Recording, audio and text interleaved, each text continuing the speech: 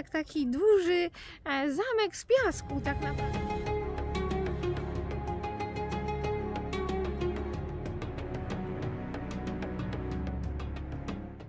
Plułam sobie w brodę, oj plułam wczoraj wieczorem. To była walka o życie w ogóle.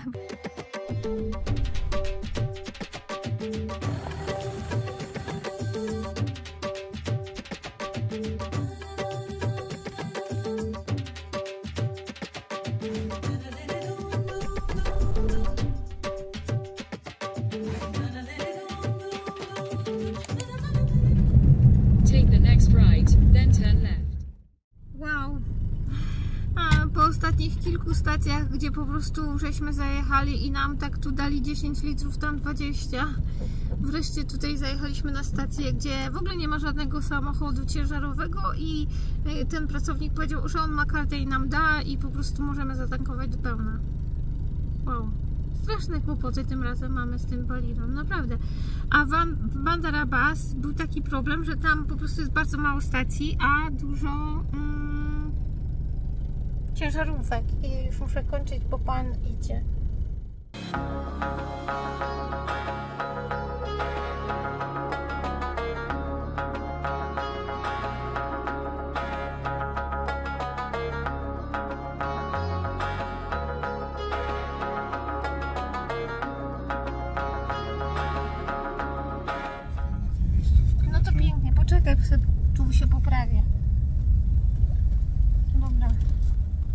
Miejscówkę, tylko ja zwiedzać będę. Teraz? Tak. Czy za będzie ćmak? No, no dlatego się spieszymy.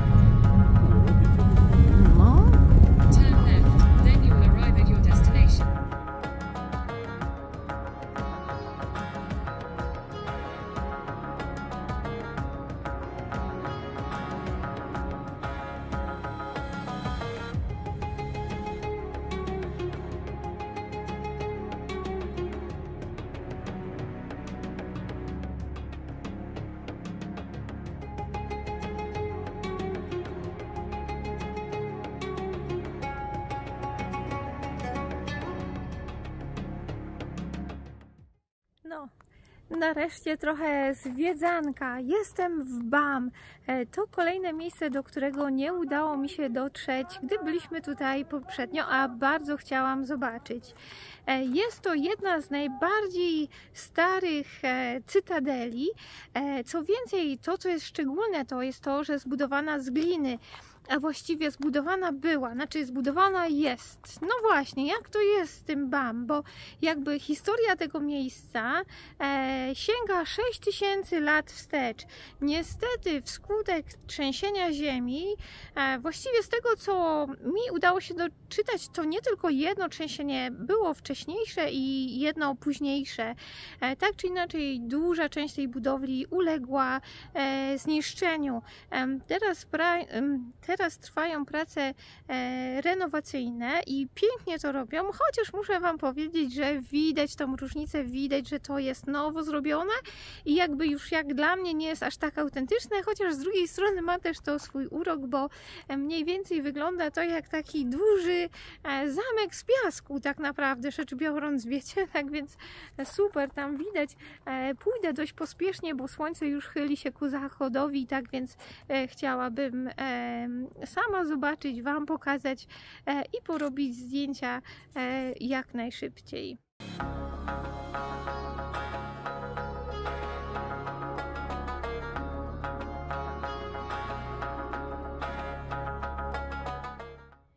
Przewodniki podają, że jest to największa na świecie budowla z gliny.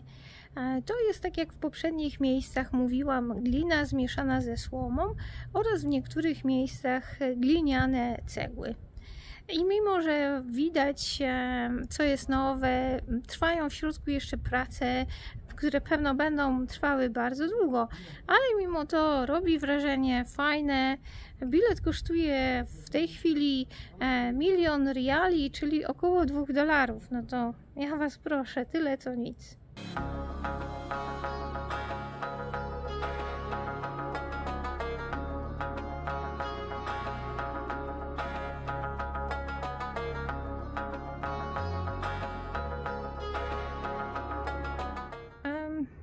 Trochę małe rozczarowanie na koniec. E, Teren jest ogromny. Tutaj, jak się wejdzie na górę, to widać e, naprawdę fajnie taką jakby całą wioskę. Nie wiem, jak to nazwać, ale to wszystko jest zamknięte. Tam nigdzie nie można wejść. No trochę szkoda. Tak więc. No. Zachód słońca sobie pooglądam i idziemy szukać miejsca do spania.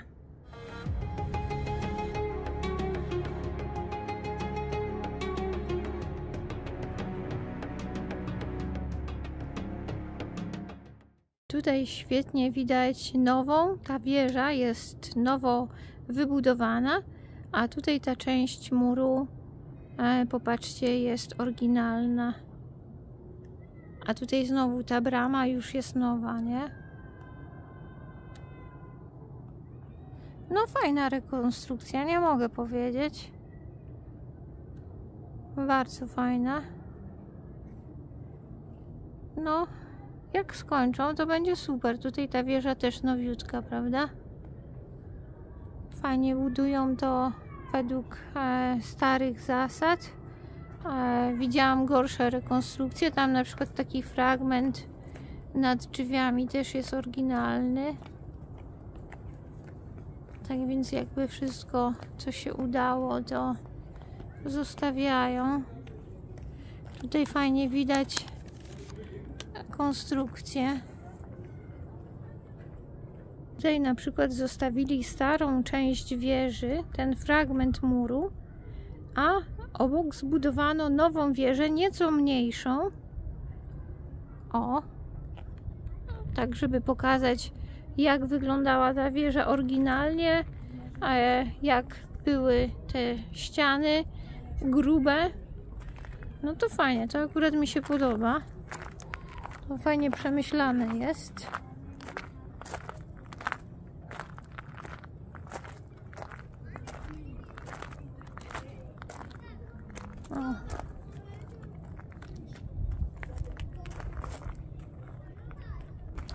A tam biega dzieciaczek. O. Dzieci mają zabawę, proszę bardzo. Z górki na pazurki. Dzieci wszędzie są takie same. Ja tu zawsze mówię, że dzieci płaczą tak samo. Nieważne z jakiego są kraju, tak samo się śmieją i tak samo płaczą. I mają podobne zabawy. Tutaj na przykład jest wejście do jakiegoś domu. Widać, że to jest cały taki ogromny dom. I tu nawet jest napisane Sistani House. E, on tam w którym wieku został zbudowany, w którym okresie i że to jest typowy dom, e, w którym były właśnie te wieże łapiące wiatr i kominy. E, tak więc był i ciepły, i zimny w zależności od pory roku. No tylko szkoda, że to wszystko jest pozamykane. Przepraszam, jednak trochę więcej można tutaj zobaczyć, e, bo są porobione takie alejki e, i to, co ja widziałam z góry, to można sobie tutaj wejść. Tam za daleko nie, bo tam są takie barierki i tam widziałam z drugiej strony też wejście, też kawałek. E, No, tak więc można. Aczkolwiek ta część nie jest taka spektakularna. No, ale jest. I biegnę, bo robi się ciemno i niedźwiedź już na pewno tam przebiera nogami, że trzeba jechać i szukać miejsca do spania, ale mam upatrzone i mam nadzieję, że e, uda się tam zostać, bo to nie jest żadnej apki czy coś, tylko ja rozkminiłam z map i może tam będziemy mogli spać.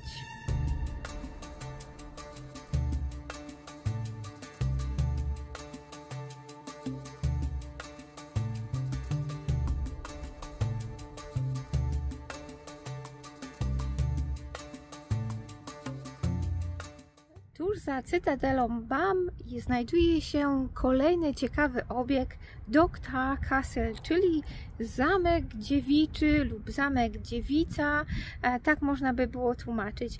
E, Tak naprawdę e, takich nazw jest dość dużo, dlatego że tak nazywano każdy zamek zbudowany na jakiejś skarpie w takim trudno dostępnym miejscu.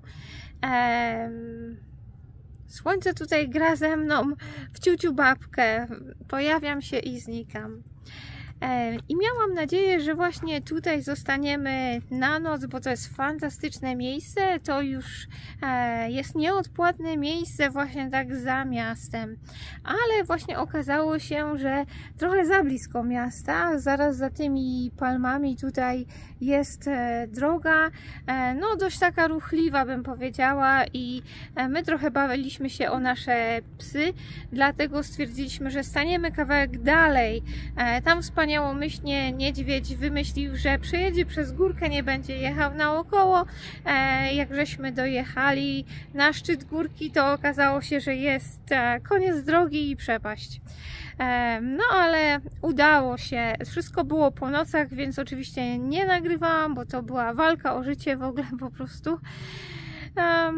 No, tak więc były emocje, były, ale udało się i e, niedźwiedź jest bardzo dobrym kierowcą, więc e, z moją niewielką pomocą, jak daleko jeszcze e, ta skała jest, żeby nie spaść, udało się nawrócić i bezpiecznie zjechać. Objechaliśmy dookoła i znaleźliśmy spokojniejsze miejsce. Natomiast jakby ktoś był bez psów, to tutaj ten placyk przed tą, e, przed tym małym zameczkiem, przed tymi ruinami jest bardzo fajnym i spokojnym miejscem, znaczy spokojnym, no w nocy jest spokojnie, tak, bo nikt nie jeździ i to fajna baza wypadowa, żeby sobie zwiedzić e, tę cytadelę w BAM. E, jeżeli ktoś przyjedzie za późno albo już tam późno oglądał i po prostu w ten dzień nie chce jechać. E, więc to miejsce zapisuję do naszej mapy e, Pinesek. No, a my teraz będziemy jechać do Zahedan. Ale zanim tam dojedziemy, to jeszcze chciałam Wam powiedzieć o przygodach, bo jak to w podróży, nie wszystko jest takie proste.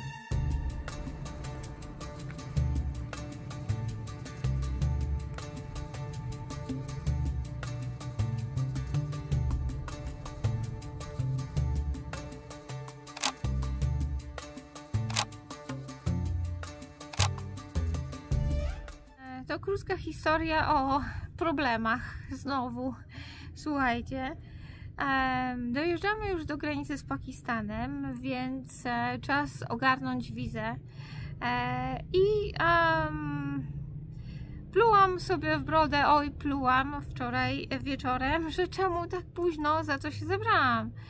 Bo jakoś, e, no wiecie, no najpierw to sobie człowiek myślał, że to jeszcze ma na to czas. Potem był problem z tym internetem. E, A potem żeśmy tak darli, po prostu jechali codziennie tyle kilometrów, że ciągle po prostu człowiek nie ma siły i myśli, dobra, jutro, jutro, jutro poczytam, jutro sobie przypomnę, wiecie, bo em, tak naprawdę e, wizę do Pakistanu nie jest łatwo dostać. Do Iranu jest trudno, a do Pakistanu jest jeszcze trudniej. E, ale miałam kontakt e, do naszego znajomego podróżnika, Pawła, który E, może pamiętacie go z odcinka, właśnie przyjechał na rowerze do Mucha, do Pakistanu. E, i, e, I on mi już wtedy mówił o wizie, ale wtedy ja to tak słuchałam piąte przez dziesiąte, bo mówię, dobra, dobra, to jak tam będziemy, to ja ten. Potem se doczytam i tak dalej, się dopytam. No, błąd, błąd, trzeba od razu pytać i robić notatki, dlatego że tu jest wiecznie em, problem z tym internetem. Mimo, że tam mamy, no to dalej to tak wiecie, e, te strony się tak otwierają, że po prostu płakać się chce. On mi przesłał jeszcze raz kontakt do pośrednika, bo trzeba wizę załatwiać przez pośrednika. E, Wysłał mi kontakt do sprawdzonego, bo wiecie, możecie komuś zapłacić i nie dostać, albo czekać bardzo długo, tak jak on czekał na początku. E, Więc on nam powiedział, co robić, czego nie robić. Porozmawiałam z nim przez WhatsApp. E, i, i wysłał mi kontakty do tego pośrednika.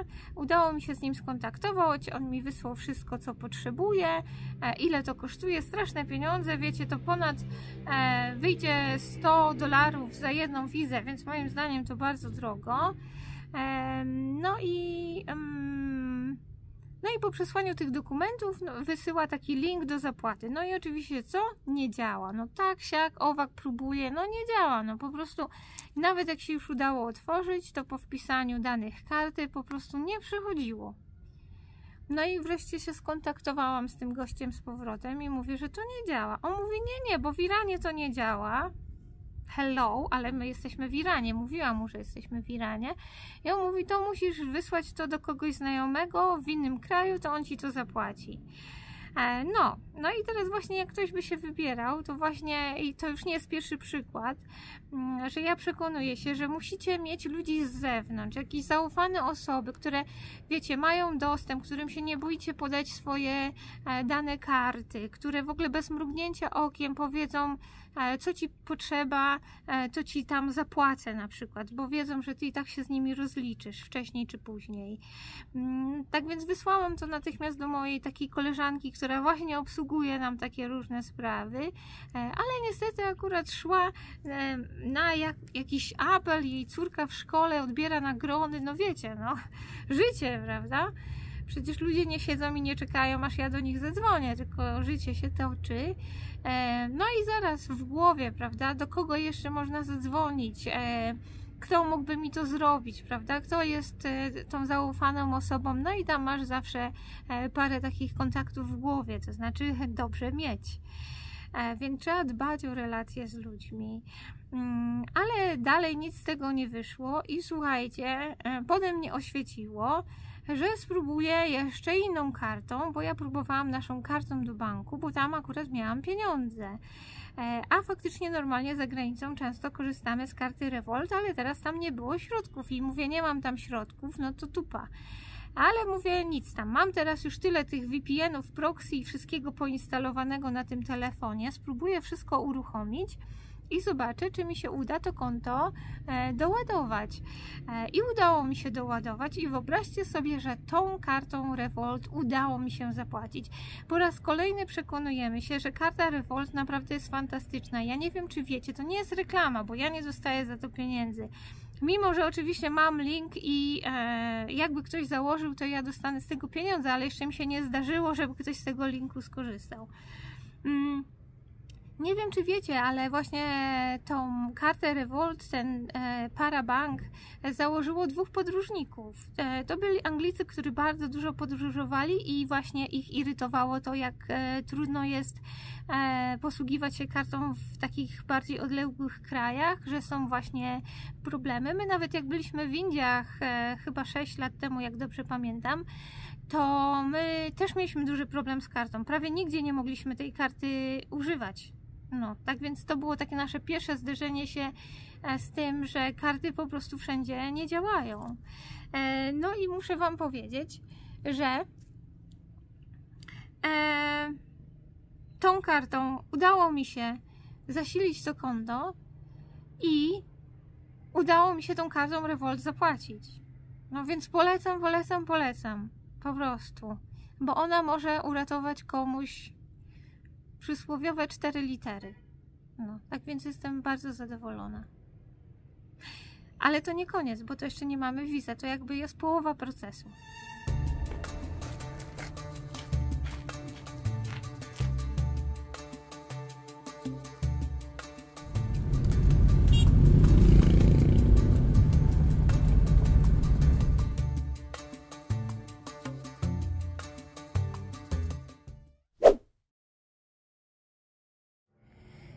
Jak ja uwielbiam to irańskie poczucie.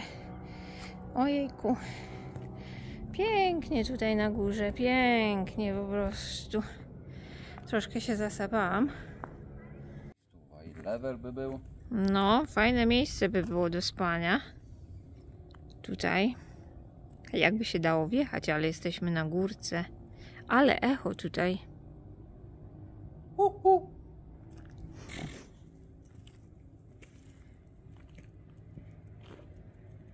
Już Bela poglądała, idziemy. Dobra, to wyjdźcie, a Bela, ja se tu. pogadam do kamery, Idziemy, bo tu z wami to jak z dwójką dzieci. Bela, tam nie e. Bela, idziemy. Bela w drugą stronę, już do samochodu.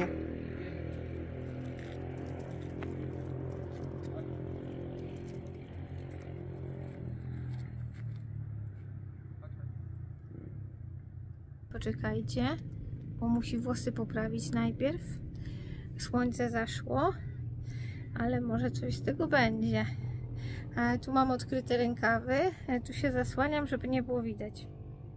Jeśli Wam się podoba, zostaw komentarz. Niech się baba cieszy.